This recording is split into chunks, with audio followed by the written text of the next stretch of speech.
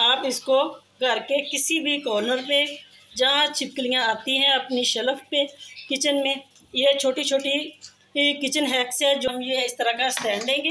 इस तरह हम उसको हेडपोर्ट के अंदर रखेंगे। फिर हम उसको, ये अपना रुमाल रुमाल जो रोटियों वाला होता है, जिसको हम पोना भी कहते हैं, इसमें हम रोटियाँ रखेंगे। फिर इस तरह से हमने इसको अच्छी तरीके से गर्म करना है। ये देखें अस्सलाम वालेकुम कैसे मेरे बहन भाई खरीय से? अल्हम्दुलिल्लाह जी, हम भी खरीय से।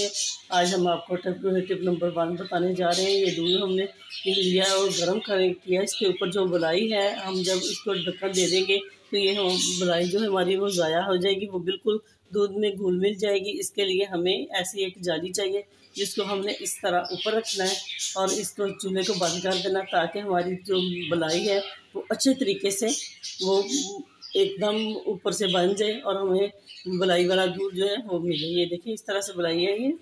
और हमने इस तरह से इसको जाली रख दी और अब मेरा दूध गर्म हो गया, मैंने चूल्हा बंद कर दिया। और अगर आपके पास ऐसी जाली अवेलेबल नहीं है तो आपने इस तरह से ढक्कन को रखना है।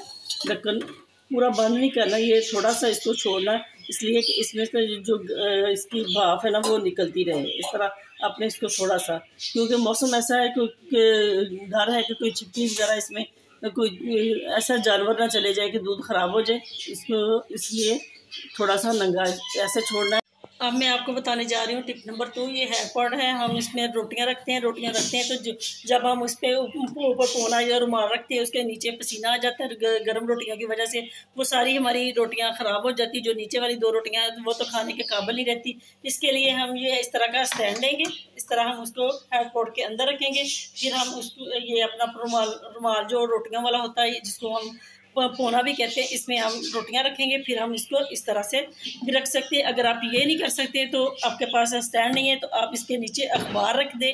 अखबार रखें, फिर उसके ऊपर आप ये पोना अपना रखें।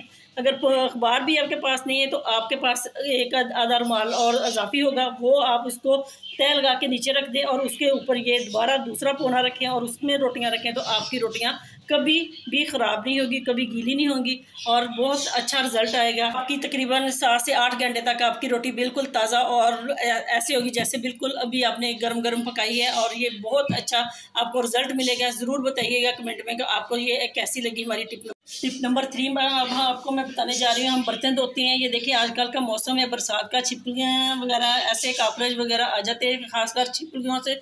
ये हमें बहुत डर लगता है और इसकी जहर भी बहुत होती है। इसमें ये देखें हम इस तरह बर्तनों को उल्टा कर, कर देते लेकिन हमें उल्टा बर्तन नहीं रखना चाहिए क्योंकि इसमें छिपकली लग जाती। इसको हमने जब भी खुशक करके एहतियात से इस तरह बर्तनों को हमने डाल के रखना है। ये देखें डोंगा इसको इसको भी हमने इसी तरह रखना है। इसके ऊपर आपके पास प्लेट है तो आप इसके ऊपर प्लेट रख दें। अगर नहीं आपके प्लेट है प्लेट है आपके पास तो आपने इस तरह ये देशके के ऊपर ही इस तरह रखना है। ये छिपकलियों से बचने के लिए नहायत और आसान और थोड़ा सा कारामद है। आपके जहन की ज़रूरत है कि आप इसको किस तरह रखते हैं और छिपकलियों से बच सकते हैं।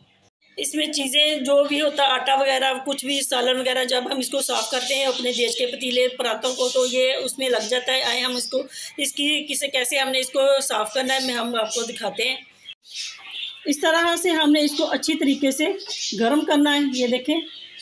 फिर मैं आपको दिखाती हूँ कि इस तरह गर्म करने के बाद, ये देखें, इसमें धुआँ आने लग गया, वो चीज़ें जल जाएँगी। ये देखें, जो आटा वगैरह कुछ भी होता है, जो सालन वगैरह इसमें फंस जाते हैं, चावल होते हैं वो लग जाते हैं इसमें। ये देखिए, ये छोटी छोटी किचन हैक्स है जो मैं उम्मीद है कि आपको पसंद आई। ये देखिए, फिर हमने इसको इस तरह से, इस तरह से झाड़ना है ये देखें जो इसमें फंसा होगा, वो इसमें से निकल जाएगा। ये देखें थोड़ा थोड़ा है, लेकिन मैं तो उसको साथ साथ वाश करती हूँ आपके दिखाने के लिए, ये मैंने बनाया, ये देखें, ये बहुत थोड़ा थोड़ा सा जितना था इसमें से वो निकल गया जल के। फिर हम काम करते हैं तो हमारी छुरी जो एकदम काम करना छोड़ देती है तो फिर हम बहुत परेशान होते हैं कि हमारी छुरी तेज़ नहीं है तो हमने इसको किस तरह तेज़ करना, आपने इस तरह एक स्टील का गिलास लेना, उसका जो किनारा जो है इस आपने इस तरह से, इस तरह से, थोड़ा इस तरह, थोड़ा इस तरह से इसमें आपने इसको अच्छी तरीके से ऐसे रगड़ना है और आपके लिए तकरीबन दो से तीन मिनट ऐसे करना है और ये आपकी छुरी बिल्कुल आरामद हो जाएगी और आप परेशानी से बच सकती है और आपको कहीं जाने की कोई ज़रूरत नहीं।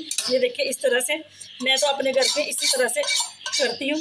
ये बहुत बसानी हो जाती है। उम्मीद है कि आपको ये हमारी आज की टिप्स पसंद आई होगी। पसंद आई तो लाइक करें, शेयर करें, कमेंट में बताएँ। ये देखें जी, एकदम से छुरी की हमारी कितनी तेज़ होगी और इसमें कित किस तरह से चमक आ गई है। और उम्मीद है कि आपको ये हमारी आज की टिप्स पसंद आई होगी। पसंद आई तो शेयर करें लाइक करें और कमेंट कमेंट में बताएँ कि आपको कैसी लगी हमारी आज की टिप्स अल्लाह पाक आपका हामी और नासर और मिलते हैं किसी नेक्स्ट वीडियो में किसी और टिप्स के साथ। तब तक के लिए अल्लाह हाफि